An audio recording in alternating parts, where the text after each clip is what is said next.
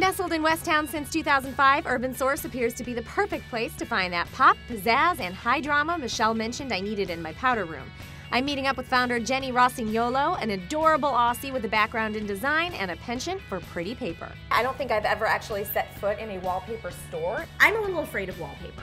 beauty of a powder room um, is that you can totally close the door and you don't have to look at it. you can, you know, have fun and it doesn't really have to affect the rest of the house. Sounds like my kind of room. I thought of like wallpaper as being like what your grandma did. Wallpaper was out. Okay. But now I feel like it's back. Oh my gosh, it's back with a vengeance. Time to delve into the thousands of wallpaper options in the store. It's like a library of wallpaper. It's a library. And just like a library, Urban Source allows customers to borrow up to six wallpaper samples at a time to test them out. It will look different in your space and we Yeah. don't want you to make a mistake. We That with me is a distinct possibility. The Urban Source library consists of standard wallpaper, the kind we all know and love from Grandma's house circa 1980, Some of them are shiny. wall coverings, which can take a little more wear and tear than your typical wallpaper, Ooh, fun textures too. and fabrics, many of which match the wallpapers. I smell a bedroom redesign coming on.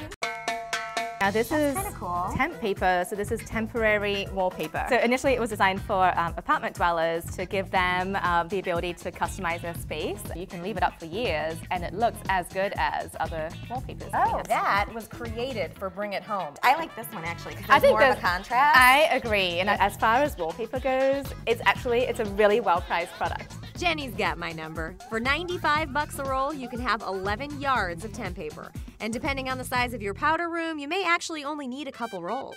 You also save on materials because you don't need to buy the paste. I love simple solutions. In theory, it's perfect. In practice, well, it turns out it's kind of perfect there too.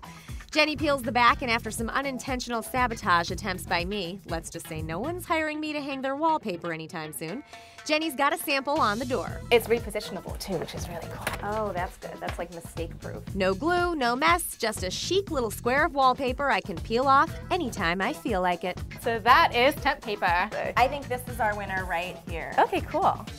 Winner, winner, chicken dinner.